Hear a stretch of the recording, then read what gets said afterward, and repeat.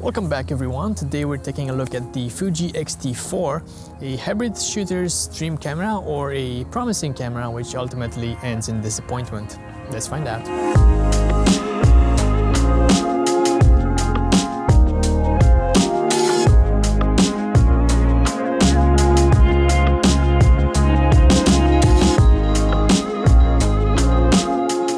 Fuji X-T4 has a 26 backside illuminated APS-C X-Trans sensor. That is a mouthful.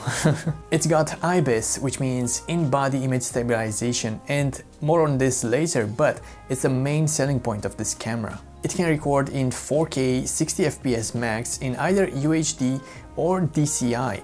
For those of you who don't know, DCI is a slightly higher resolution than, than standard uh, UHD 4K uh, and has a different aspect ratio. It's a bit more cinematic looking. 1080p video recording up to 240 frames per second, which means slow motion up to 10 times. It's got a fully articulated touchscreen display. It's got a 3.68 million dots electronic viewfinder with 100 FPS refresh rate as well, dual UHS 2 SD card slots. It's got a new and improved battery with 2200 milliamps, which is almost twice the size of the X3 one, and a USB Type-C connector which allows um, power delivery charging. In a nutshell, the X-T4 looks and feels amazing. It's not too big, not too small. Although it is compact, it doesn't feel toyish in any way, weighing about 607 grams, and in my hands at least, it fits perfectly. It has weather sealing as well, which means you can use it in any situation. Of course, you can now notice it has a fully articulated touchscreen display, which was previously one of those rather awkward tilting only to a certain degree ones. Uh, the buttons and dial situation is great. Fuji is known for having a lot of tactile dials for most of the settings that you'll ever need.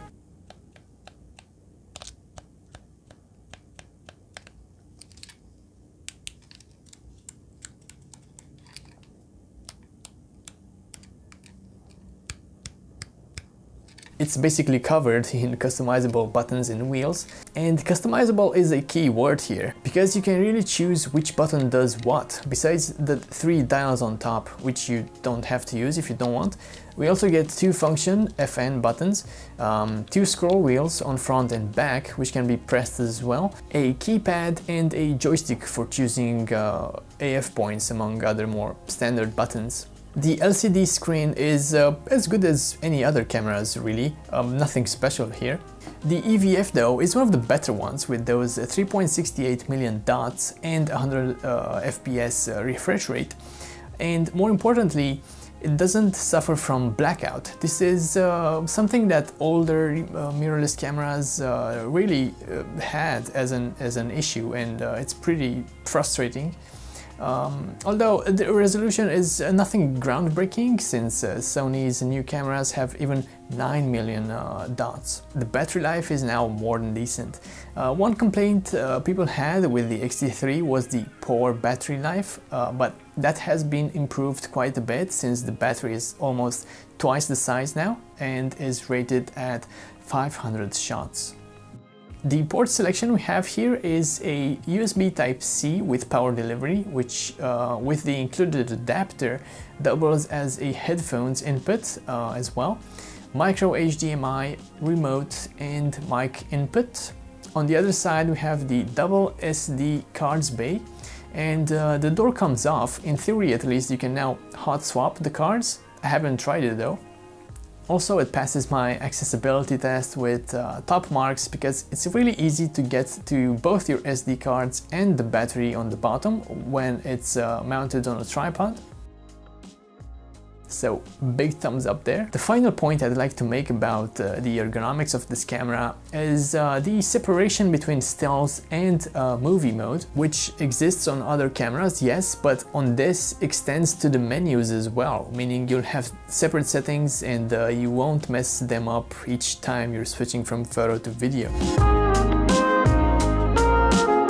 I'll be the first to admit I was a bit anxious switching from Canon's amazing dual pixel AF to Fuji's um, and especially now since Canon and uh, Sony have been releasing uh, continuously uh, new incredible cameras which have this black magic like uh, powerful skills of uh, pet eye uh, and bird's eye AF which work really really well. Uh, there isn't any such things here on the Fuji, there is only human eye AF and human face uh, which work really well, I'm using it right now. Uh, well, if you if it doesn't, uh, you'll be able to tell. But yeah, my beginning of the video conclusion about the AF is that it works good. It, it hasn't disappoint uh, it hasn't disappointed me yet and uh, I will let you know if, uh, if anything changes in the meanwhile. Besides that, Fuji is known to release software updates pretty often, um, much more often than uh, other manufacturers, I'd say. So you can expect some improvements down the line. Um, I have updated the camera twice already and the lens uh, once, I think. But speaking of that uh, cinematic autofocus um, in video, uh, well, they do offer a lot of uh, customization and you can change the sensitivity of the autofocus if you are noticing that uh, the AF is hunting a bit back and forth. Uh, you can change the sensitivity sensitivity to be a bit less so um, and also that is a lot more dependent on the lens that you're using than the body itself. Uh, I'm using it with the 16 to 80 which is one of the newer Fuji lenses and so it should be one of the best ones for video AF uh, as well. Um, but I'll get into a lot more details about this lens in a separate video because there's a lot to talk about it, so uh, yeah, stay tuned for that. What I can say is that with, uh, with this combo with the Fuji X-T4 and the uh, 16 to 80 mm f4 uh, lens haven't noticed any kind of uh, hunting while uh, autofocusing. So yeah it's it's been uh, behaving quite quite well. But you if you are using older lenses and you let them uh, uh, focus on their own your mileage may vary the X-T4 also provides a cool set of tools to assist you with manual focus as well, like focus peaking, which is useful, and a thing I would suggest you to do if you want to manual focus is uh, switch the focusing to linear. It will really help you be able to replicate the same uh, movements uh, over and over again if you if you want to focus pull. Another tip I have for you is to set your camera to performance boost mode. What I use is the EVF boost and uh, what this does is it uh, maxes out the refresh rate to 100 and fps but not only that, it also increases the speed of your autofocus, which uh, is something you might really want, and it does that at not so much of a battery cost. Uh, now, this is a big one, and for some people, it's worth it to upgrade from the X-T3 to the X-T4 just for this feature alone. Because, think about it, let's say you have some older prime lenses which don't have image stabilization in them. Now, all of a sudden, uh, even in low light situations, and both for photo and for video, these lenses become quite usable. Let me interrupt this program with an important message from myself. Uh, if you are enjoying this video so far, please don't forget to like and subscribe. It takes a lot of time and effort to do this and uh, it really helps. So thanks and cheers. It promises 6.5 stops of image stabilization and it can even pair up with the lens optical image stabilization and work together for even better results. I have tested this and uh, it's pretty impressive. You can get usable results with even half a second of uh, exposure time, which on other cameras and uh, lenses would mean a blurry mess of a photo. So, uh, some of the things that we want to test are the eye autofocus, the autofocus of course, uh, the image stabilization, the built-in one, and uh, yeah, just a couple of things. And uh, first we're going to test those in a vlogging scenario and see how that goes but then uh, we're going to test them in uh, multiple scenarios and situations. I'll just take a few steps. Uh, this is with the image stabilization both from the camera and the lens. And uh, let me switch it off now. Now let's take a look how it looks without any kind of stabilization. should be a bit shakier, uh, but uh, might not be a big difference uh, either because that image stabilization isn't necessarily for this. Don't get the wrong idea, the IS works great for video too, completely removing micro jitters even on the non-stabilized lenses as I mentioned.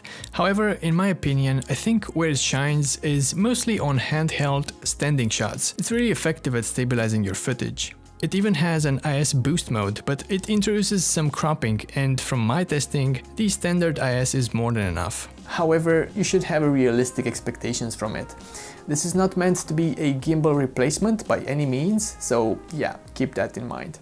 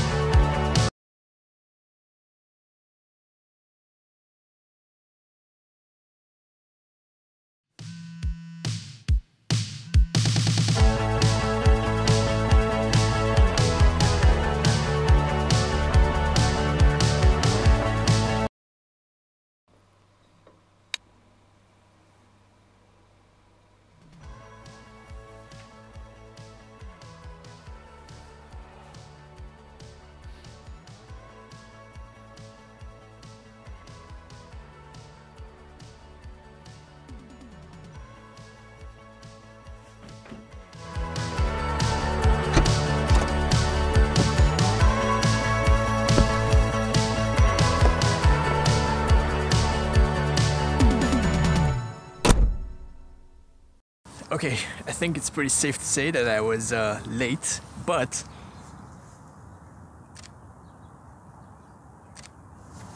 I did not miss it. and uh, while the Fuji does its thing, I'd, uh, I just uh, want to talk to you about sunrises and how it's never a sure thing and you never know if you won't be able to see the sun at all because it's cloudy or something.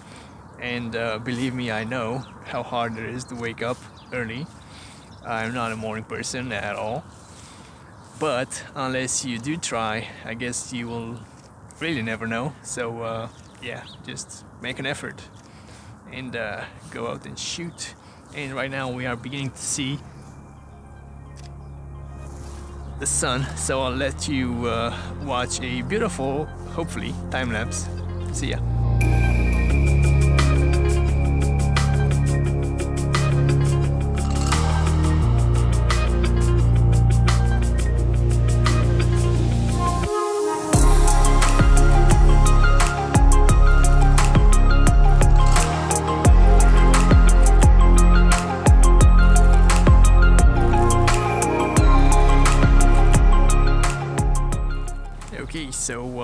Let's go test out some other things as well.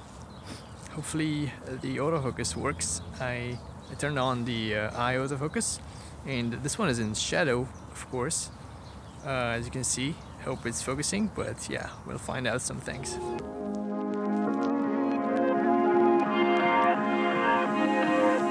Fujifilm's X-Trans sensor is uh, obviously a crop sensor one, but it's backside illuminated, which means better low light performance, uh, which is usually a concern for uh, crop sensors. Also, their X-Trans sensors are built in-house by themselves and are quite different than uh, traditional Bayer sensors which you would find in most other cameras. And uh, they have been developing this for quite a bit of time now and uh, why they did this is to uh, solve some problems that traditional sensors have, such as moire for example. And without getting too technical and nerdy about it, this is a color aliasing artifact which appears sometimes and, and how this is eliminated in Bayer sensors is with an optical low pass filter put in front of the sensor, which is great because it solves the issue, right? Well, yes, but also in the process it uh, reduces sharpness overall. So because they have a different pixel layout and they don't have to use this uh, filter, uh, this should mean for Fuji that their photos are sharper. And indeed, there is no lack of sharpness with this sensor, and I've said before, 26 megapixels is the sweet spot for me, which means you will have plenty of resolution and the possibility to crop in and post-processing, and also not having huge file sizes. The image quality in my opinion is exceptional, both for stills and for video, having a good color reproduction and good dynamic range. Also, I can't not mention this, but the JPEGs straight out of the camera are so beautiful and uh, better than what I'm used to.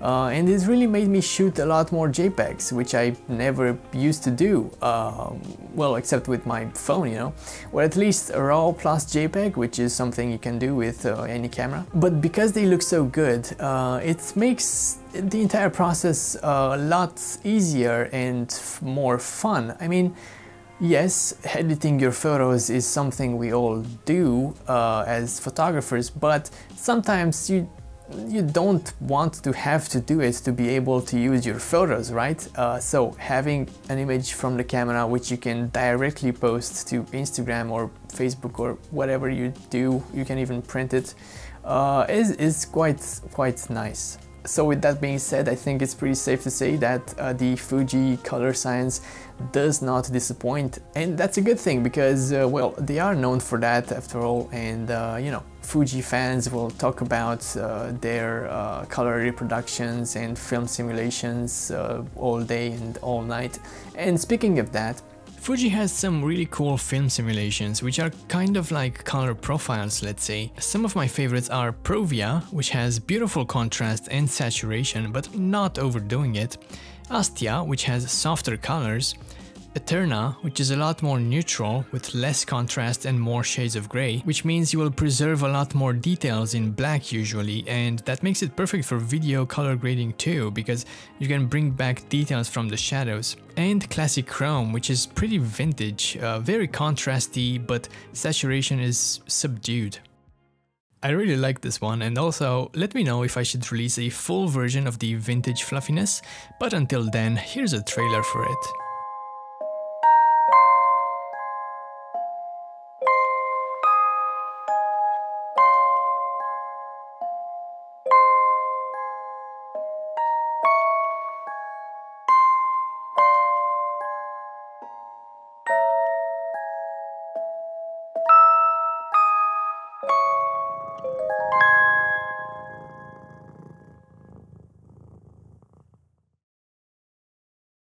So let me show you the differences between the profiles. This is Eterna.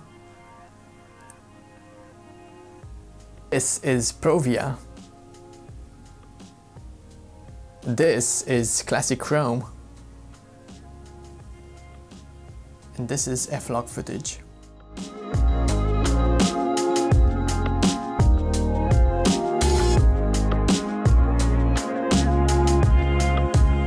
F-Log footage is really great if you want to edit uh, your, uh, your video. Think of it like uh, a RAW file compared to a JPEG uh, for, for photos. So filming in, uh, in F-Log or log footage in general uh, is the best choice you have if you want to edit uh, your video a lot, like, uh, I don't know, exposure, bringing back details from the shadows, even colors and, and other details uh, it's the best shot you have with uh, with video files. Think of it like um, or a raw type file uh, versus JPEGs for for photos. Uh, it's kind of like that, but yeah, not all the way uh, full raw. It's capable of uh, 15 frames per second with a mechanical shutter for stills, which sounds like this.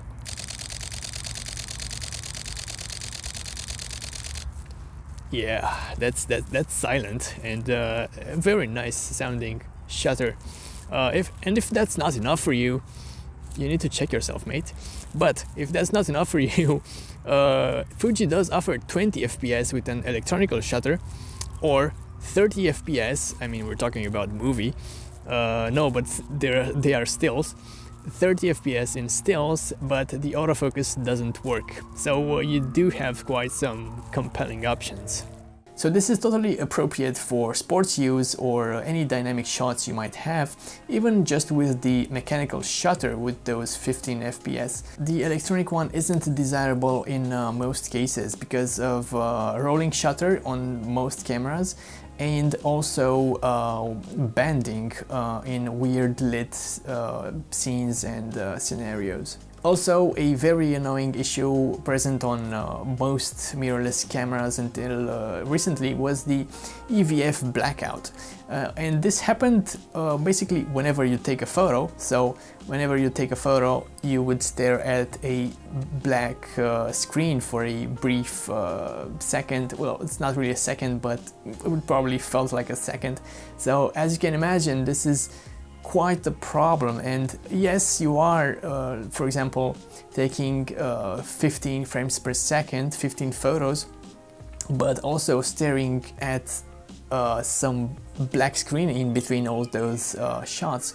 And as you can imagine that was a real problem for um, sports photographers or wildlife photographers. And it means that you can't really track your subject that well. For example I don't know it's a bird flying off and you you keep the shutter button down and uh, take some burst photos but uh, that that blackout kind of throws you off and you you won't be able to do much with it. So that's one main reason why uh, sports and wildlife photographers uh, didn't switch from uh, DSLRs for a long time. But the good news is as I uh, previously mentioned that new mirrorless cameras uh, don't suffer from this anymore and this is the case for the X-T4 as well. I haven't seen any uh, EVF blackout so that's a really good thing. About the RAW files, uh, they're pretty good and you can get back quite a few details both from the shadows and the highlights and um, everything in between. Uh, although I find them a bit big at around 50 megabytes per file. I don't know, for, for this resolution 26 megapixels doesn't seem like a huge resolution. Um, but this is in a raw uncompressed. There's also a, a lossless compressed uh, raw version, which will have the size at around 25 megabytes. And in theory, at least, uh, you won't be losing any kind of details or information. There's also a third option, which is a compressed um, uh, version, but I would stay away from that.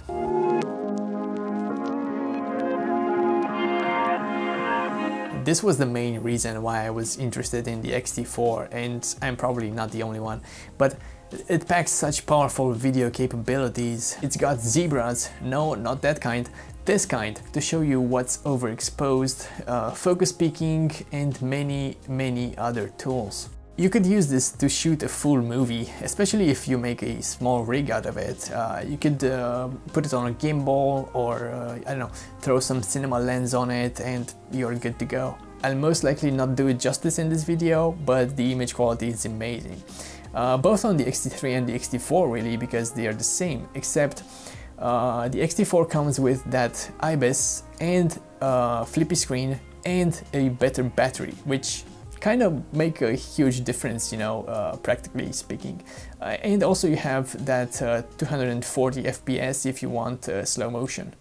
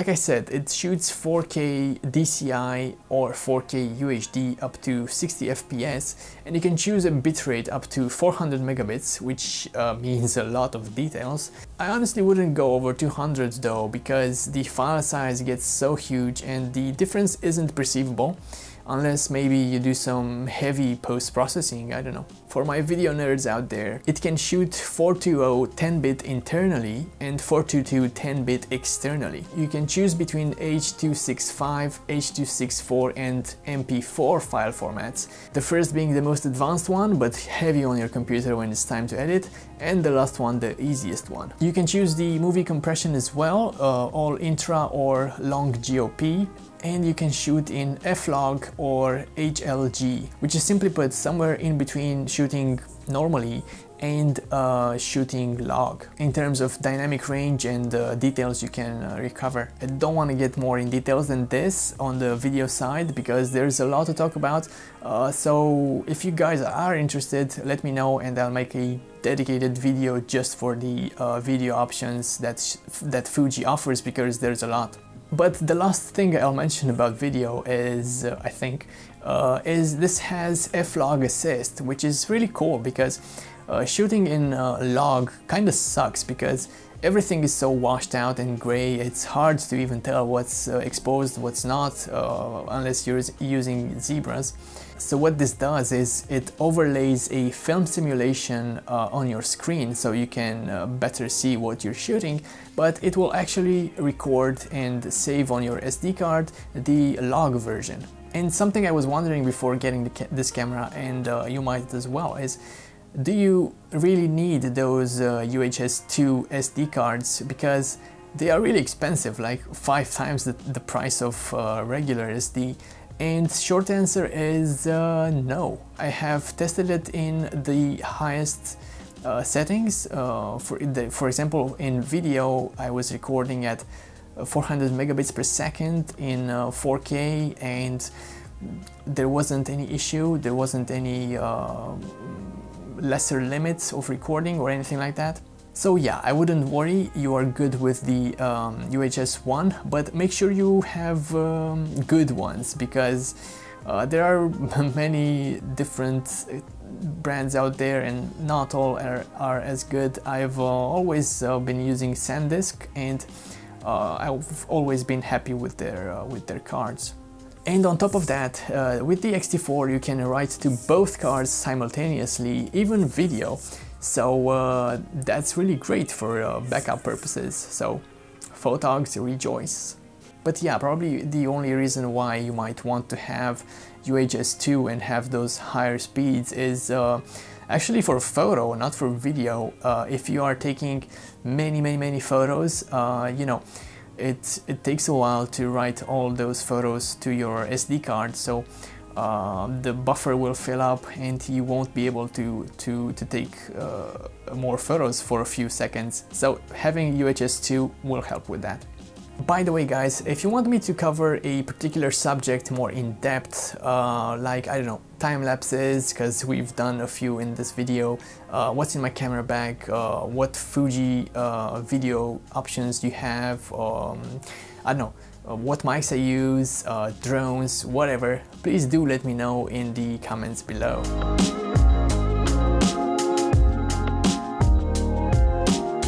Okay, I think it's time to address the elephant in the room here. However cool this camera might be, it doesn't have a full frame sensor, which means at the end of the day, many people won't even consider it and they'll probably tell you that a pro camera has to have a full frame sensor because that automatically means better image quality, better low light performance and that full frame look. Uh, which uh, doesn't really have anything to do with the sensor, but more with the lens, which means you can achieve the same effect with the right lens on crop as well. And hearing so many people say these things again and again, uh, these were my concerns as well. I'd be lying if I had said anything else. But suffice it to say that this little sensor uh, has really impressed me.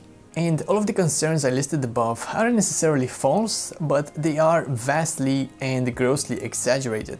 It depends more on the scenario. It's not always as simple as bigger is always better. Yes, in some ways, uh, traditionally, the bigger the sensor, the more light and information you can capture.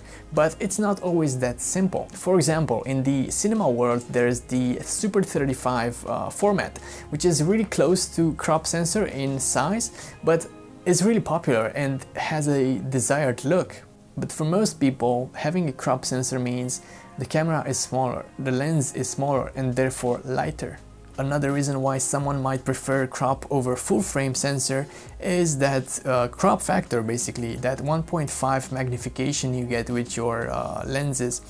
And it's easy to imagine how many people and photographers would, uh, would desire such a feature. For example, wildlife photographers will have more reach with the same focal length. Uh, they'll basically have times 1.5 so they can get closer to the action closer to the bird or the animal or whatever uh, but also for anyone who travels really because uh, they'll have more reach with less. Uh, that means uh, lighter weight lenses. It can mean that you have to bring fewer lenses with you because you have more reach with what you have already.